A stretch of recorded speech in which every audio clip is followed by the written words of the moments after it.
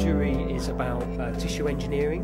Um, there was an innovation happening at Imperial College where they'd made a scaffold that you could grow uh, bone cells on. So the idea is if you had an injury or you've had a cancer, the patient can have a chunk of uh, bone made for them to kind of repair the injury. So designers, we were really interested in this technology, thinking about what we could use with that material outside of the body. So Biojewellery is a project uh, which uh, takes cells from couples who want to have rings made for them uh, and we then uh, uh, extract some cells, grow them in the lab, and then combine um, a, a, bone a bone ring with uh, silver, and, and, then they swap the rings, and they're effectively wearing each other on their hands.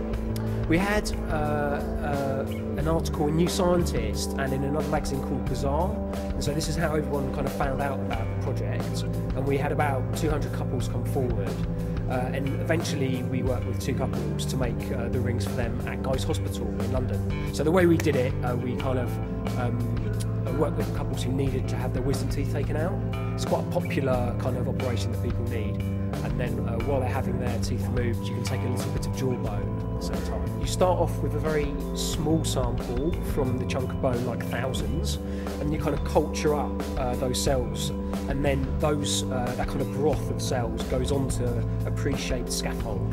So this is the, the scaffold material. This is hydroxyapatite, um, and you can see it's a little bit like uh, the structure of bone. It's kind of got pores in it, holes in it, and that encourages the cells to kind of grow in a way you'd expect them to. So after about five to six weeks in the lab, we have a kind of bony structure which we can then take out of the incubator and effectively we kill that sample, sterilise it so that it's safe, and then it goes into uh, Nikki's studio where she can combine it uh, with the silver to make the rings.